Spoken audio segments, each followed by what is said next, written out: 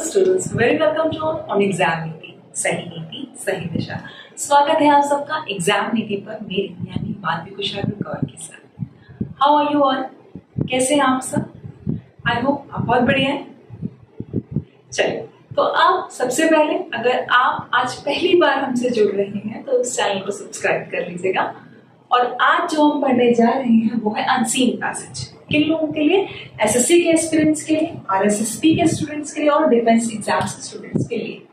तो फिर अगर आपको लगता है कि आपके साथ के फ्रेंड्स हैं या फैमिली मेंबर्स हैं जो इसकी प्रिपरेशन करें एग्ज़ाम्स की तो उन तक ये वीडियो शेयर करें. ठीक है? तो सबसे पहले मैं हर बार एक सेशन को शुरू करने से पहले आपको बताती रहूँगी कि ये डेट्स आपको आपके माइंड में रख लेनी है. These are the dates that you have to keep in your 26 September, 13th November, CPO 23rd, 26 November, CHSL main date tentatively November last में आनी है. स्टेनो 16 टू 18 नवंबर CGL टीयर 2 25 नवंबर और टीयर 3 22 नवंबर दो से पाँच नवंबर सॉरी CGL टीयर 2 दो से पाँच नवंबर और टीयर 3 पच्चीस बाईस नवंबर नेक्स्ट राजस्थान पटवार की बात करें आर एस एस बी के एग्ज़ाम की twenty first of February two thousand twenty one CDS 1 7th of February 2021 CDS 2 14th नवंबर 2020 अभी जो कभी मंथ है, इसमें CDS 2 का एग्ज़ाम है। नेक्स्ट एफटेड 2 की बात करूँ third to fourth October 2020 third to fourth October 2020 clear चलिए तो पहले तो सबसे पहले डेट्स को अपने माइंड में रखिएगा। Okay now keeping the dates in mind you are solving this passage सबसे बड़ी प्रॉब्लम तो ये है कि मैम अनसीन पैसेज इतना लंबा होता है कि हम कंफ्यूज हो जाते हैं। हमें समझ में ही नहीं आता कि पहले करें तो क्या करें। ठीक? ट्रिक्स बताऊँगी। सिंपल से ट्रिक्स बताऊँगी। सिर्फ़ उनको फॉलो करिएगा और कुछ मत करिएगा। ठीक? ना कुछ समझने की ज़रूरत है, ना पूरा पूरा पढ़ने की ज़रूरत है। कुछ ट्रिक्स बताऊँगी सिर्फ़ उनको। जब कभी भी आपको पैसेज गिवन हो और फिर आपसे क्वेश्चन पूछे गए हो अनसीन पैसेज क्योंकि आपने ऑब्वियसली इससे पहले उसको देखा नहीं तो आपको सबसे पहले क्या करना है? सबसे पहले आपको ये करना है कि आपको क्वेश्चंस पढ़ने सबसे पहले आपको क्या पढ़ने हैं? क्वेश्चंस पढ़ने हैं। पैसेज नहीं पढ़ना है। ठीक? और उसमें से की वर्ड्स मार्क करने हैं। लिख लीजिए सबसे पहले। Read the question first number one trick number one number two mark the keywords keywords को मार्क कर लीजिए कि बेसिकली पूछा गया है।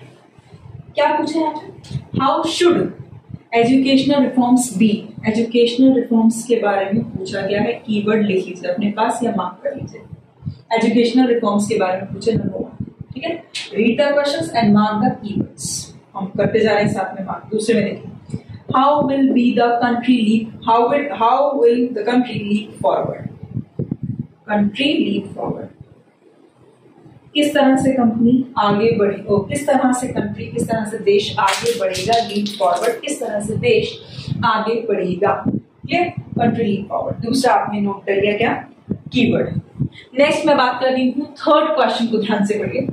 When will a policy announcement on the above mention lines कुछ लाइंस मेंशन कर रखी हुई कुछ गाइडलाइंस दे रखी हुई कुछ बातें बता रखी हुई be the best gift to the people policy announcement best gift ठीक, दो कीवर्ड हैं कि पॉलिसी अनाउंसमेंट जो है वो लोगों के लिए बेस्ट गिफ्ट कब बनकर सामने आएगी, ठीक है?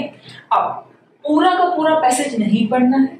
अब क्या करना है? सिर्फ़ इन कीवर्ड्स को सर्च करना है। थर्ड पॉइंट लिखिए थर्ड पॉइंट लिखिए now search these keywords in the passage अब आपको पैसेज में इन कीवर्ड्स को सर्च करना है। Number one read the questions number two mark your keywords number three search the keywords that is it पूरा message पढ़ना ही नहीं है।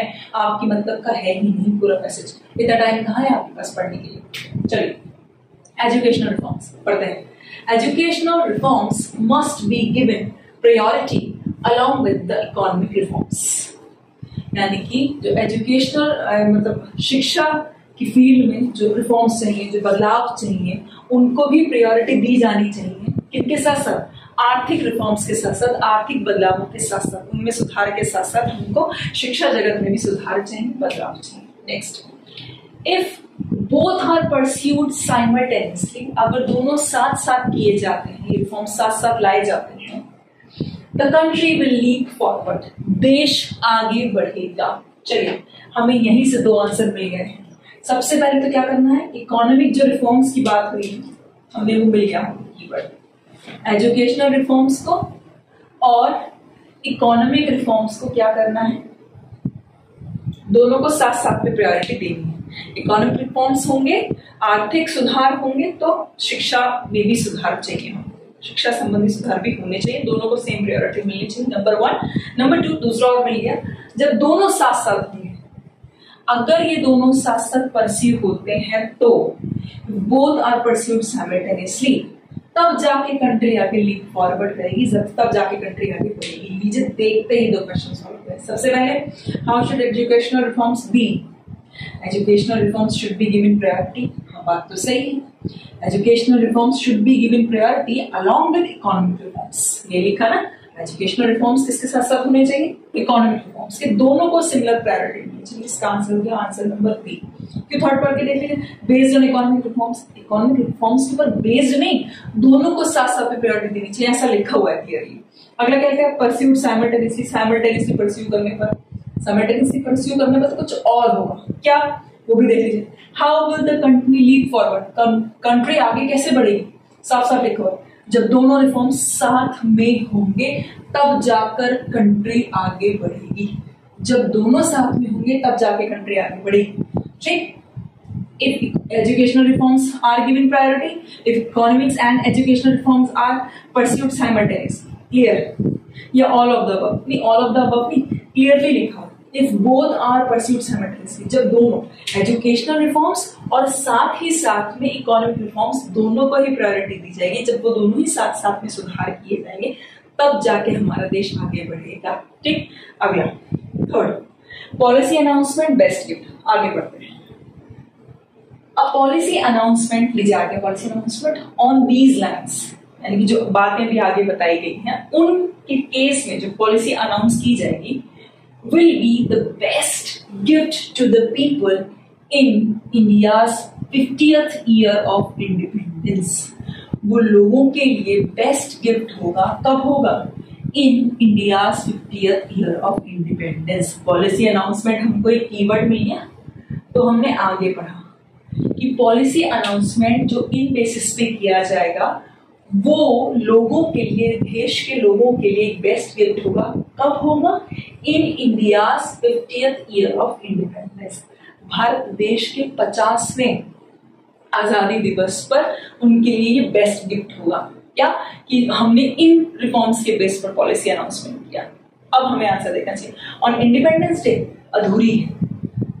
On fiftieth year of independence of India ठीक? चलो on Independence Day wrong on Republic Day wrong on Teachers' Day wrong in fiftieth year of independence independence के fiftieth year में. तो हमें आंसर देखते ही देखते मिल गए। हमें ऑप्शन पढ़ने भी नहीं पड़े। क्लियर हो गया? आपको बातें समझ गई मैंने क्या ट्रिक नोट कर लीजिए। ट्रिक्स को रूल्स को, बात को समझ लीजिए। स्टेप्स को समझ लीजिए। Number one read the questions first number two mark the keywords. या write the keywords. Number three find the keywords. That is it. और बाकी कुछ पढ़ना ही नहीं है। तो जल्दीबाजी मत करिएगा। मार्क द कीवर्ड्स सिर्फ़ उनको पढ़िए और दैट इज़ इट और इस तरह से आपने देखा कि ना आपको पूरा पैसेज पढ़ना पड़ा। जो आपको देख के बहुत भयानक लग रहा था, बहुत डरावना लग रहा था, बहुत आपको चिंता हो रही थी, कैसे सॉल्व करेंगे, कैसे सॉल्व करेंगे। तो मैं आपको प्रैक्टिस कराती चलूँगी। मेरे व्हाइट बोर्ड पर इतनी जगह थी। खत्म हो गई, मैं आपको इतना ही सिखा पाई। है ना? अब फिर और प्रैक्टिस कराती रहूँगी, लेकिन आप मेरे साथ साथ घर पर भी होमवर्क करते रहिए। एक मैं सॉल्व कराऊँगी, एक आप घर पे सॉल्व करिए। एक मैं सॉल्व कराऊँगी, एक आप घर पे सॉल्व करिए। ठीक क्योंकि मेरे पास जगह की लिमिटेशन है। आपके पास तो लिमिटेशन नहीं है ना? ओके तो अगर आपको लगता है कि सेशन ये फ्रूटफुल था, और आप यहाँ से कुछ भी सीखे, वाकई में आप कुछ ट्रिक्स सीखे, और आप इनको अप्लाई करके देखेंगे तो इस सेशन को लाइक ज़रूर कर दीजिएगा। आगे सेशन को शेयर कर दीजिए उन लोगों तक जिससे बहुत ज़रूरत तब तक के लिए सही रहिए सेफ़ रहिए पढ़ते रहिए, नया सीखते रहिए। Thank you मटिल